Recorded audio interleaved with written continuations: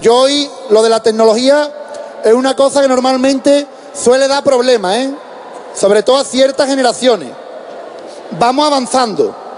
Mi madre, por ejemplo, lo que sería es con, con los móviles. Los fijos ya los controla. Mi abuela era la que se liaba con los fijos, más que con los fijos, con la agenda. Mi abuela tenía todos los números del teléfono fijo en la misma letra, en la M. Tú cogías la agenda y era mi Paco, mi José, mi Alfonso, mi Juan. Todo. Ta- Estaban todos ahí, ¿eh? Me imagino yo a la señora agobiada cuando compraba la agenda decía, oye, ¿para qué vienen tantas letras si es una nada más la que sirve? ¿eh? Mi madre no. Mi madre el fijo lo controla perfectamente. Cuidado, ¿eh? Cuidado porque tú sabes que una madre entiende de todo. Esto no sé yo cómo es, pero tu madre entiende de todo. Tú échale cuenta a tu madre que como tu madre te quiere, no te va a querer nadie nunca. Tu madre sabe de todo.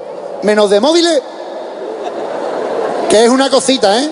Es una cosita lo que se le ha atascado. Porque dicen que es que no lo entienden. Ay, yo es que no lo entiendo. Y mira que los jóvenes se lo hemos explicado a todas las madres igual, ¿eh? Que tú has cogido una tarde y has sentado en tu mesa camilla a tu madre, su móvil y tú. Y se la ha explicado. Y se la ha explicado como se la ha explicado todo el mundo a su madre.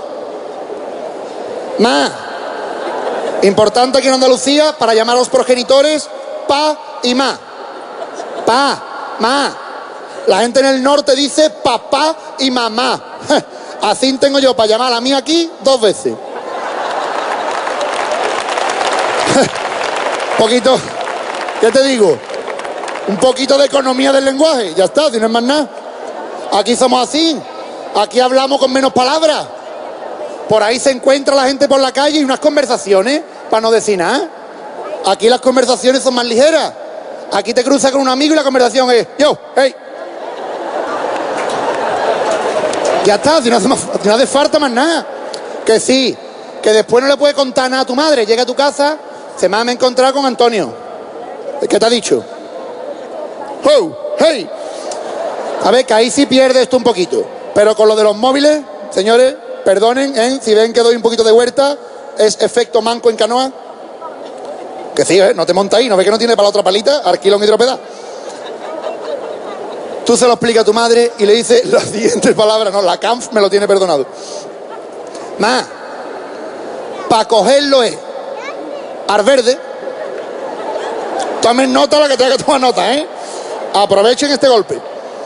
Más, para cogerlo es al verde, para colgarlo es a rojo. Pues dice que se lía, que no lo entiende.